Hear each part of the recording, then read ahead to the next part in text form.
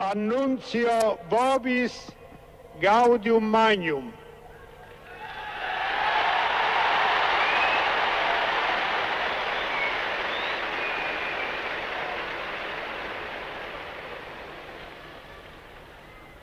Abemus Papam.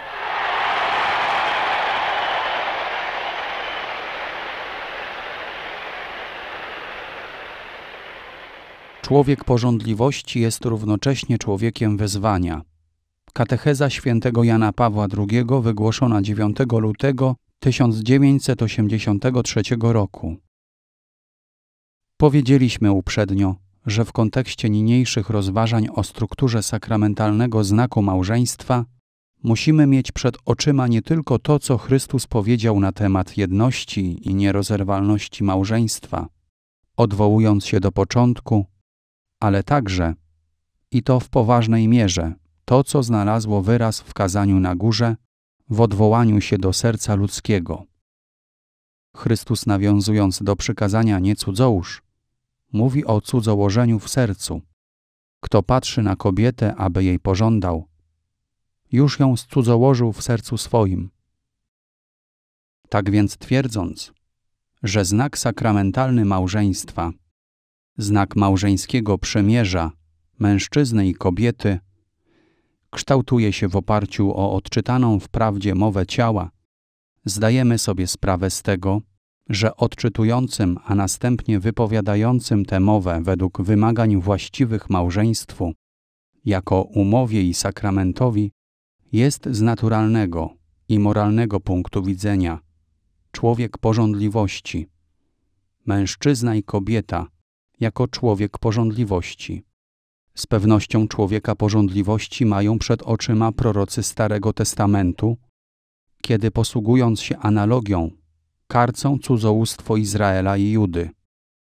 Analiza słów Chrystusa skazania na górze każe nam głębiej zrozumieć samo cudzołóstwo.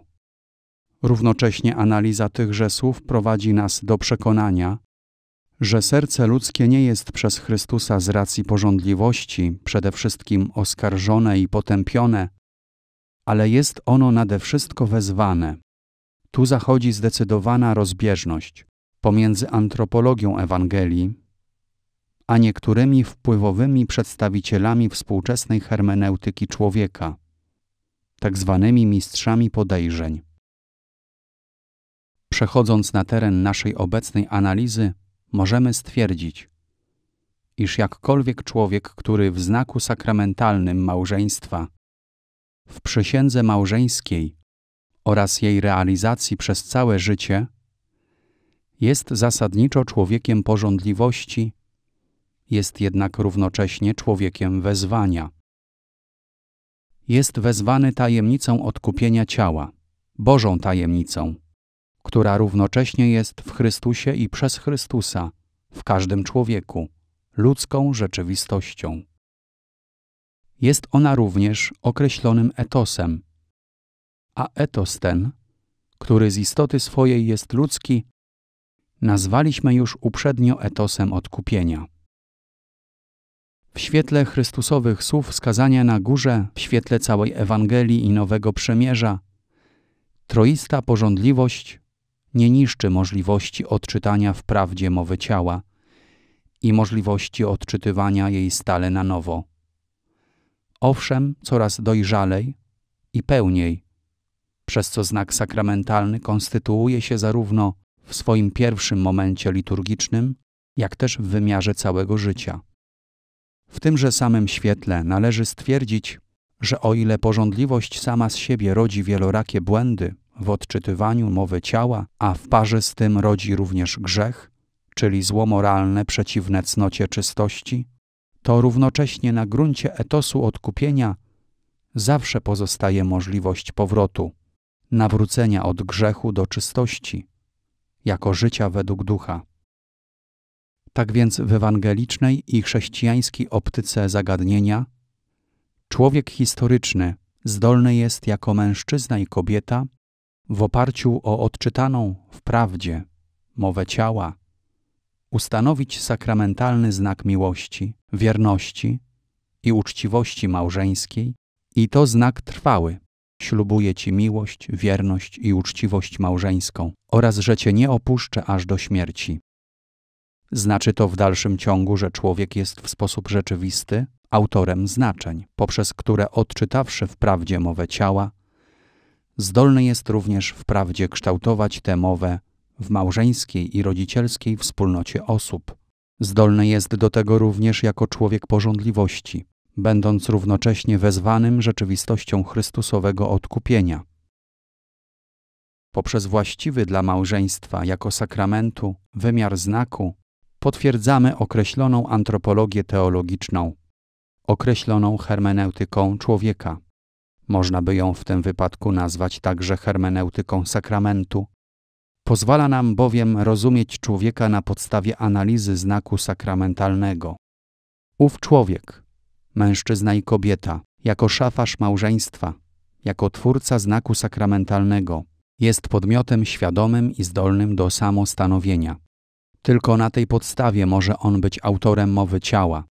Może też być autorem małżeństwa jako znaku, Bożego znaku stworzenia i odkupienia ciała. Fakt, że jest on, ona człowiekiem porządliwości, nie przesądza o tym, aby człowiek ów nie był zdolny do odczytywania mowy ciała w prawdzie. Jest człowiekiem porządliwości, ale jest równocześnie zdolny odróżnić prawdę od fałszu w mowie ciała i może być autorem znaczeń prawdziwych lub fałszywych tejże mowy. Jest człowiekiem porządliwości, ale nie jest całkowicie zdeterminowany przez libido w znaczeniu, w jakim się często tego terminu używa. Determinacja taka oznaczałaby, że całokształt zachowań człowieka, choćby nawet na przykład wybór bezżeństwa z motywów religijnych, tłumaczy się tylko swoistymi przekształceniami tegoż libido.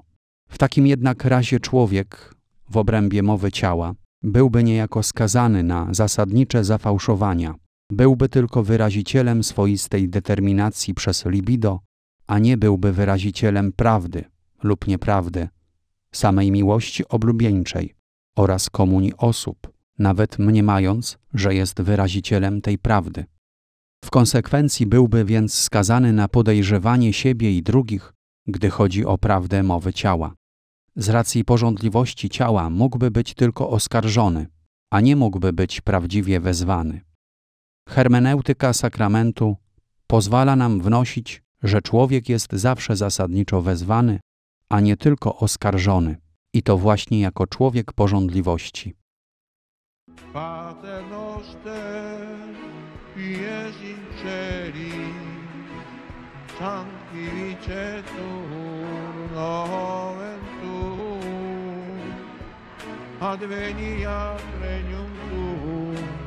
Fiat voluntas tua, sicur in cielo ed in terra. Pane nostrum quotidianum da nobis odie, et dimitte nobis levita nostra, sicur et nostri vittimus, debitoribus nostri, et ne nos induca in tentatione, sed libera nos a malo.